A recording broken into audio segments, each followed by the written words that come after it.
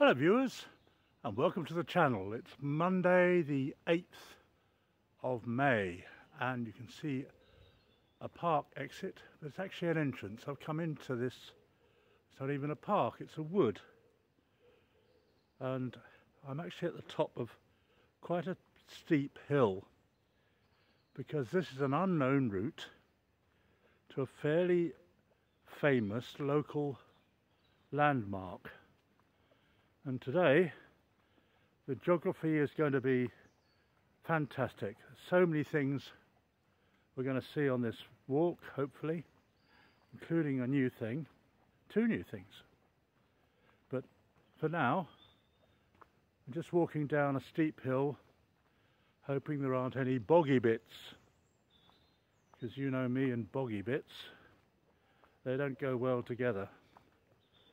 Anyway, to get here, I've travelled by tube to Northwood Hills tube station, which is a bit of a clue as to where I am um, in the Northwood Hills area, you could say, um, which in fact is very well named because it's very hilly. And I've actually walked up from the tube station for half an hour all uphill, which I don't mind because we're going to go to somewhere not via the conventional route.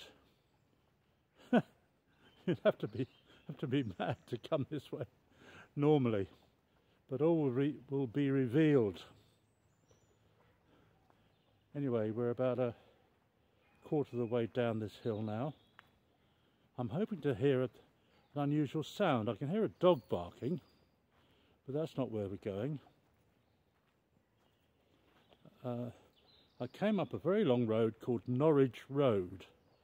I love it when people name roads for no particular reason. I mean, there was no, it wasn't pointing towards Norwich. There was no sort of Norwich souvenirs. Let's have a quick scan around this wood. It's a kind of a, a mystery wood.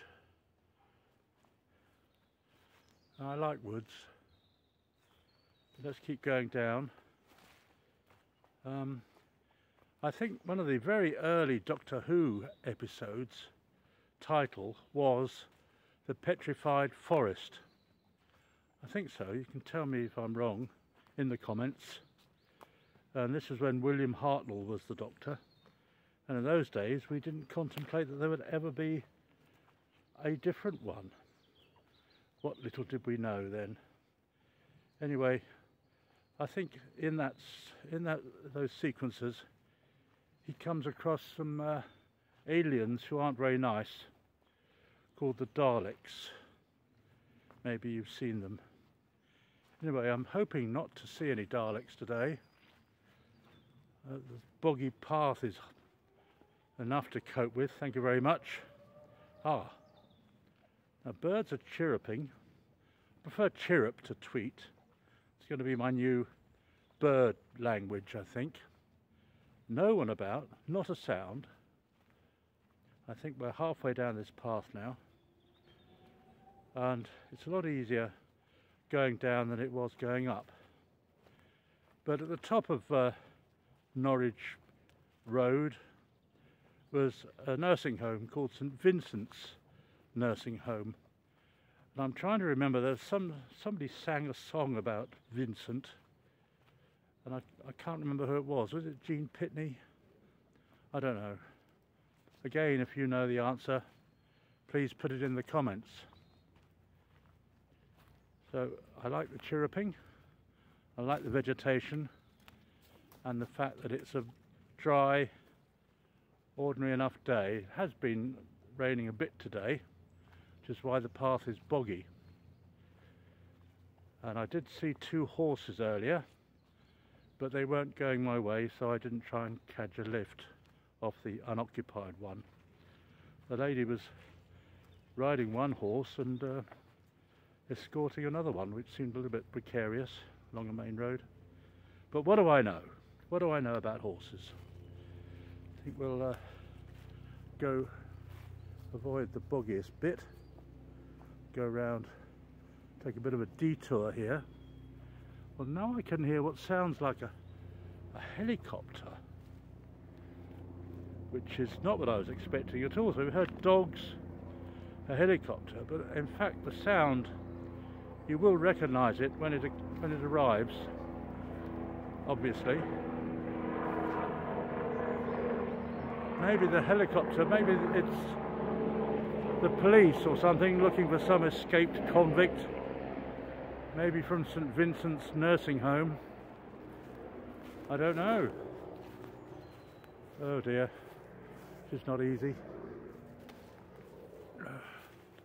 No he's gone away. Of course nowadays if you are a criminal trying to hide from helicopters it's not very easy because they've got infrared so they can see you in the in the dark and in the daylight I presume because we all give off body heat apparently.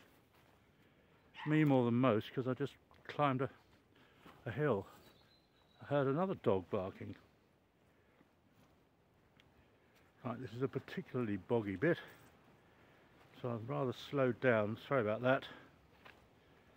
But uh, we'll soon get through it beset by boggy bits. That ought to be my uh, name of my autobiography. But I have thought of other names. I won't tell you what they are just yet. Right, well we've come to one of the vistas that I can show you, which is slightly unusual. We're not very close to it at the moment, but I'll scan towards it.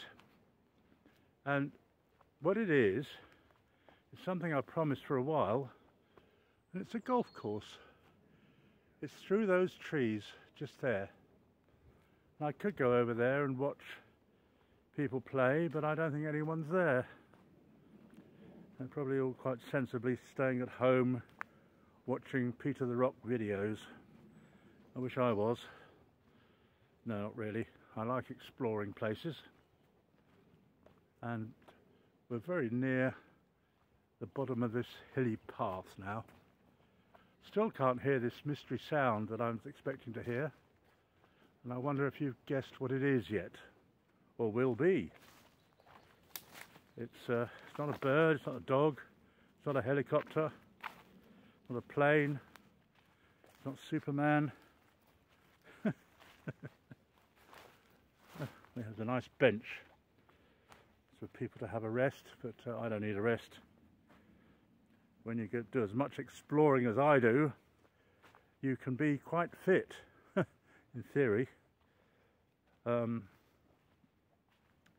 right, so we've we've seen one site, albeit through the trees. I love that expression, albeit.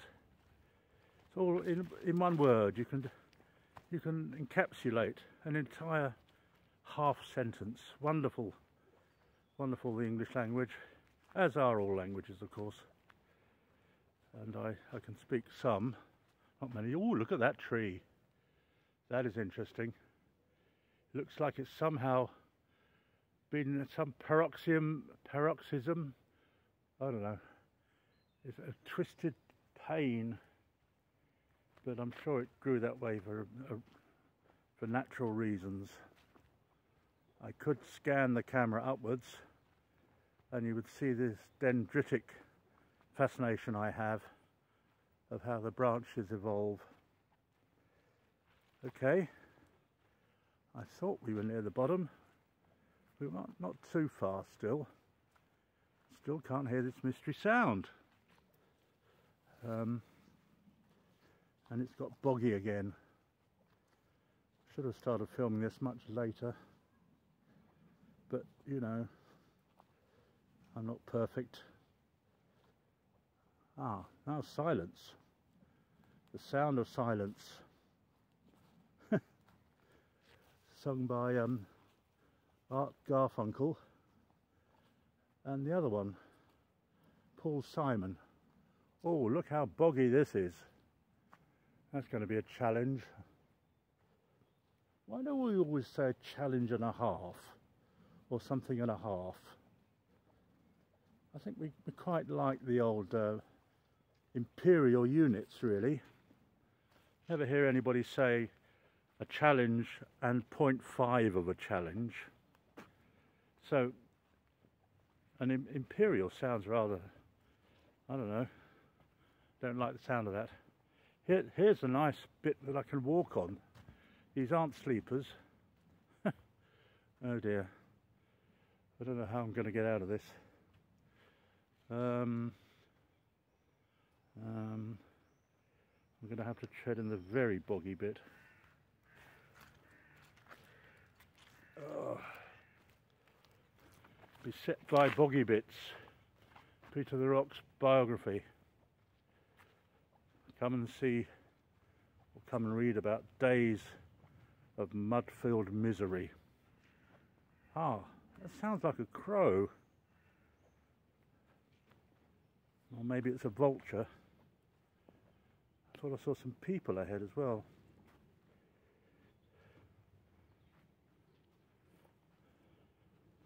I picked the wrong day to uh, come down a boggy path. But I'm hoping any minute now to hear an interesting sound. And um, we've gone away from the golf course. I didn't hear a single golf shot. Not very good at catching the action, am I? Cricket grounds, golf courses. Haven't yet actually seen anybody do any sport. But who knows? One day I'll be lucky. Anyway, we're coming, as I, as I said to you a couple of minutes ago, towards the bottom of this hill. In fact, there's a fence ahead of us beyond which we cannot go. So I hope you're in good spirits, viewers, watchers, folk, because the whole point of this walk is very near to being established now. Is that the noise I can hear? I can hear a noise. I think it's the one I'm expecting. If so, you will be the first to see it. Because it's something that makes a noise. Oh, it's a beep. So is that a bus? Is it a tram? Is it a train? Soon find out. Coming right down to the flat bit now. Sounded like a train. How can there be a train in the middle of a wood? Very unusual. For those of you who know where Northwick Park is have probably guessed what railway it is. Okay, last little bit now. And uh, then we shall be on the level ground.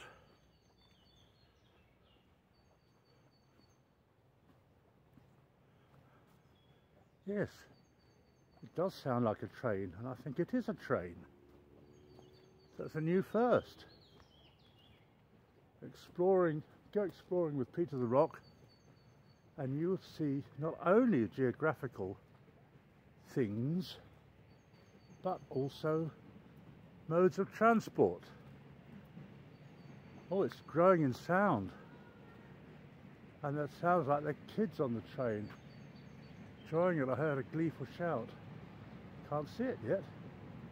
Where is it? Oh, yes I can. We'll be able to see it through this through this. Yes, we can. Isn't that wonderful? There is a little railway. They call it a miniature railway. It's not all that miniature. It's 12 inch gauge. And it's quite a, quite a lot of carriages. Some are open. Most of them are occupied. And I'll tell you what it is. Still going through. It's the Ruislip Lido Railway It's run by volunteers. Fantastic. The train arrived just as we did how about that for planning? Um,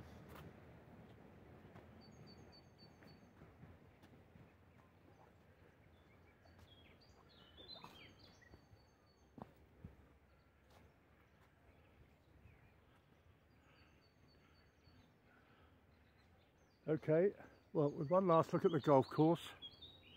You can see a flag up there, which proves it's the golf course. Birds chirping. I shall sign off. It's been nice talking to you. Bye.